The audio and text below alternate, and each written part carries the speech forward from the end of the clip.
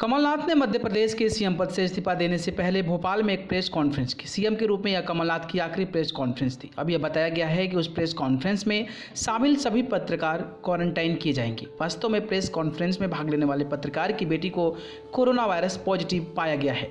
ऐसी स्थिति में सभी पत्रकारों के संगरोध में रहने का निर्देश दिया गया है।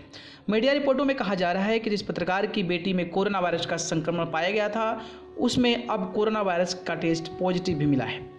इसके साथ प्रशासन अब उन नेताओं की सूची बना रहा है जो उस प्रेस कॉन्फ्रेंस में मौजूद थे। कोरोना वायरस के संचरण के बाद से सामुदायिक संचरण सबसे बड़ा कारण है। यही कारण है कि संक्रमित व्यक्ति के संपर्क में आने के बाद अन्य लोगों को भी कोरोना वायरस से संक्रमित होने की आशंका होती है।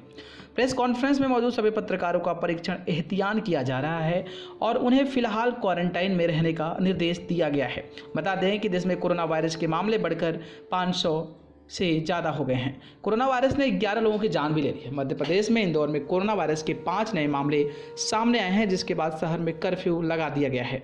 राज्य में भोपाल और जबलपुर में पहले से ही कर्फ्यू लागू है। अन्य जिलों में तालाबंदी कर दी गई है।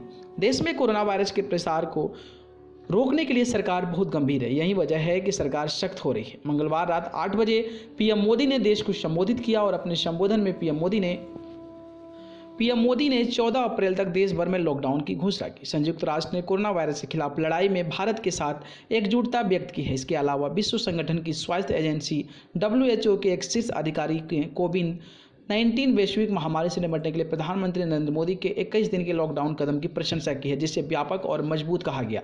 संयुक्त राष्ट्र समाचार ने मंगलवार को ट्वीट किया, कोविड नाइन्टीन के खिलाफ लड़ाई में संयुक्त राष्ट्र भारत के साथ एकजुटता में खड़ा है। न्यूज़ रूम से न्यूज़ लाइव की रिपोर्ट।